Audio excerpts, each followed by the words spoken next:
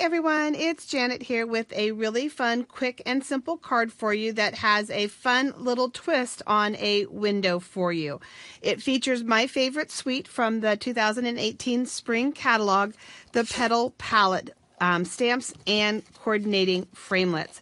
You have these beautiful images just waiting to be colored, but they also look pretty just monochromatic or stamped with a single color. And then beautiful fun greetings, some little dots to add some texture and emphasis. And then as part of the framelits, you're able to cut out some of the images, but they've also included some fun framelits, again, for adding some texture and some interest to your projects. So let's take a look at putting this card together. So the elements that you're going to need for this card, you're going to need a Memento black ink pad, I've chosen to work with the dark Calypso Coral blend, as well as the light Pumpkin Pie blend, the light and dark combo of Old Olive, a color lifter. In addition, I will be working with the Wink of Stella. I have basic black cardstock. I have window acetate, and this is indeed found in the annual Stampin' Up! catalog. I have some paper cut from the Petal Palette Designer Paper Suite and um, we're ready to go. Okay, so let's just start first by folding this card and getting it up and out of our way. Um, it is a half sheet of eight and a half by 11, so it's eight and a half by five and a half. And where's my scoring tool? There we go. And I'm going to go ahead and on the inside, I'm just going to go ahead and add my inside layer already to it. I'm pretty sure I'm not going to mess up. I feel confident. Now watch me mess up. I'm probably setting myself up, right? So we're going to set that down inside. So now the very first thing that we want to do is I want to take this card now that it's cut and I'm going to grab my trimmer and let's turn it around this way. And I'm going to lay this in. Oops, the other way around. I'm going to put the, the fold on one and a half. Okay, so at one and a half, I am going to go ahead and just slice a section off. So one and a half. I've put that fold at the one and a half mark and I've sliced. Then from this piece here, I'm going to go ahead and give myself a one and a quarter inch slice. This extra piece you don't need. You can put it in your scrap bin and save it for something fun in the future because I know that you're going to save it. The next thing that we're going to work with then is that piece of acetate that we talked about, okay, that you have handy.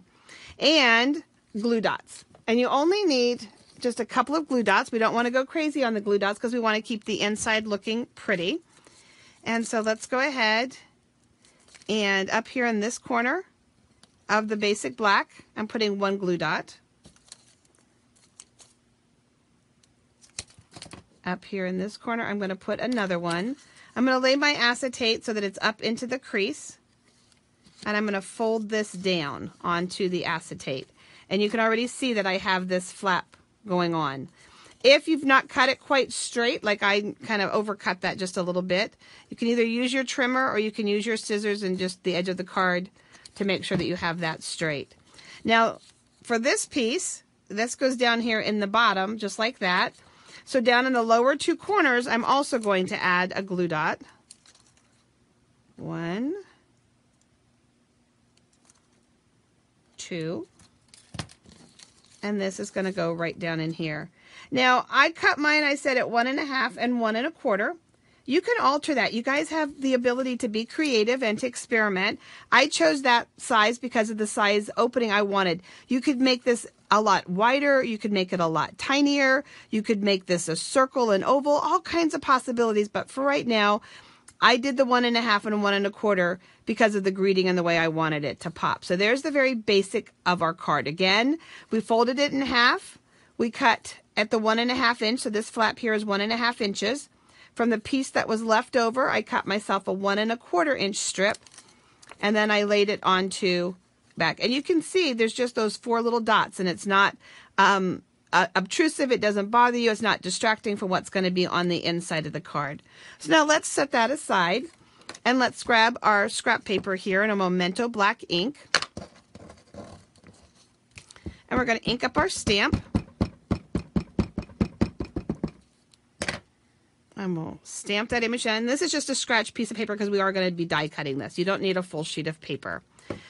Now, I like to let my Memento ink dry for a few seconds. How long you would let it dry depends on the temperature in your room, the humidity in your room, probably just how much you're going to really be soaking that Memento ink. So, I have a piece that I've already let dry. Excuse me. And I'm going to start first with the light paper pumpkin. And I'm literally just going to fill in the full flowers. Now, if you're not familiar with the Stampin' Blends, they are an alcohol-based marker and they will bleed through your paper. So you want to make sure that you have some kind of a, a sheet like our 11 by 17 grid paper or something underneath because again, they will bleed through. Which means you also want to be really careful that you're not coloring over top of elements of your project. So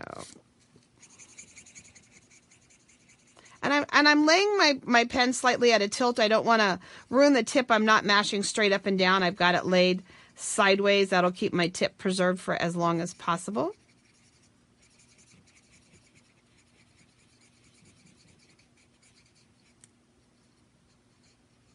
And the blends are sold in color combinations of light and dark, but in this case, I'm mixing and matching. I have the light pumpkin pie and the darker calypso coral. Um, they're sold individual or in combinations or in a full set. And with celebration coming, it would be a good time to take the plunge and just get the whole full set because you'll get at least two free celebration items. And then if you add the wink and the color lifter you're going to see here in just a second, then you could get three free items as well as host benefits. Blends can also be added to our starter kit. So that's uh, another positive for you. So I just kind of touched up around the flower in different places. And I'm going to come back in and just kind of blend those colors in that I had.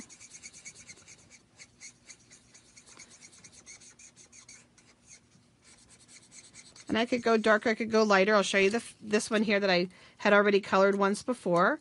I can come in as if I want to as well with the color lifter and take a little bit of color out. So up here on these the tips up here, I can just kind of pull a little bit of that color out and that'll just add a third dimension to what, what you're doing. I like to use um, the, the lines that are part of the leaves and the flowers is what I call natural shading lines.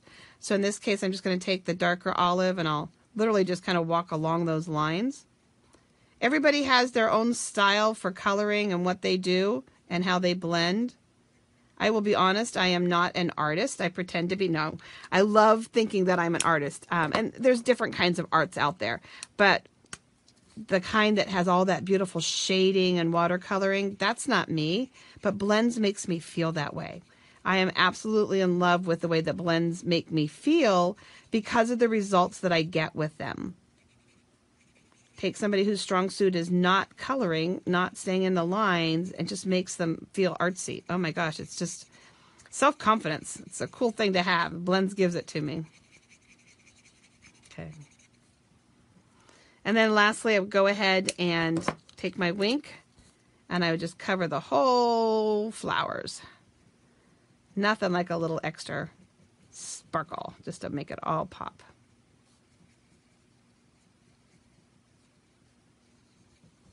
And remember, there's a framelit, and you're going to be able to die cut that image.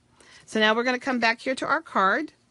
And I need to have an idea of about where it's going to go on there so I know where to put the adhesive. I don't want to put any adhesive on the acetate. I just simply want it to be on the leaves that are going to be on the black cardstock because I don't want it to show through when I open my project up.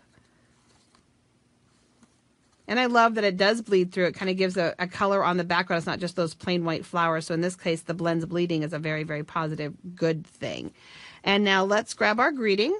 And we'll open our ink back up again.